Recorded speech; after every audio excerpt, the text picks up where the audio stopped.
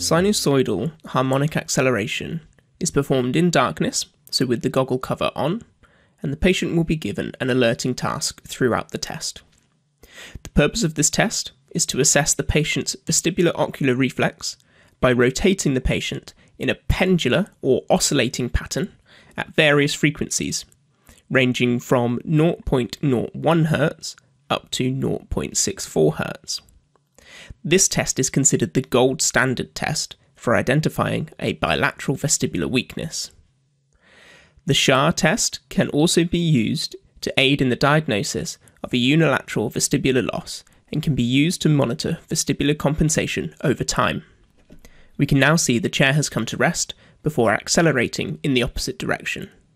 By plotting the chair velocity, we get the characteristic sinusoidal pattern.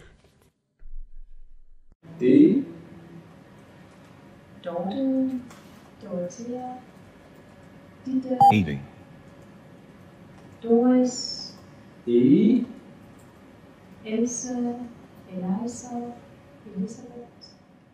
70, The first half cycle of each frequency tested is excluded from analysis for improved reliability. In the eye position graph, we can see the nystagmus that's generated by the vestibular ocular reflex. And in the eye velocity graph, we can see the speed of that nystagmus in relation to the speed of rotation of the chair. Ida, Ilse, 40, J, mm. Jackie, The chair velocity is the smooth yellow line we can see plotted on the eye velocity graph. We should expect the eye velocity to be out of phase with the chair velocity. This is due to the compensatory movements generated by the vestibular ocular reflex.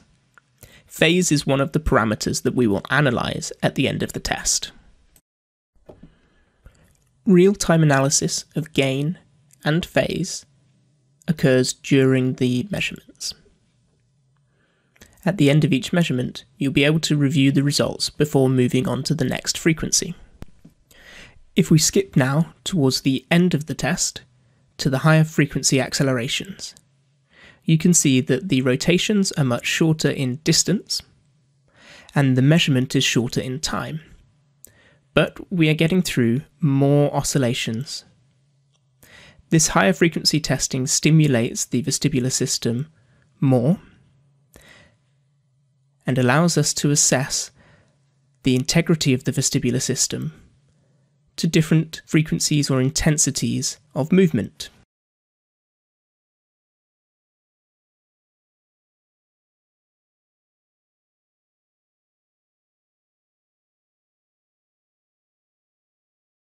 Having completed all of these steps in this protocol, we can review the results. First of all, we can assess gain. Gain is the amount of eye movement as a percentage of the amount of chair movement. Abnormally low gain across all frequencies is a strong indicator for bilateral peripheral vestibular loss. In rare cases, Central pathologies will also cause reduced gain across all frequencies, but they will usually be associated with strong central indicators. Partial injury to the peripheral vestibular system will cause low frequency gain loss. As a peripheral condition progresses, the mid and higher frequencies may also show low gain. Abnormally high gain is a very rare occurrence. If all measurement and technical errors have been ruled out, then this could point to a central lesion in the cerebellum.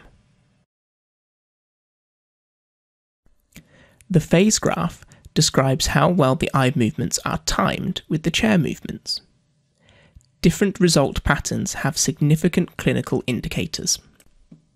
Abnormal phase in the presence of normal gain is the most common pattern of results you may see and this indicates central compensation of a peripheral vestibular injury. The symmetry graph can be considered in a similar way to directional preponderance, which means that the vestibular system may have a biased preference towards the rotation in one direction. Abnormal symmetry provides evidence of a potential unilateral vestibular pathology. The final parameter is spectral purity. A high percentage of spectral purity indicates a more reliable result. The closer the data fits a sine wave, the higher the spectral purity. When spectral purity falls below 60%, it provides evidence that the response may not be of high quality and the clinician should consider retesting that frequency.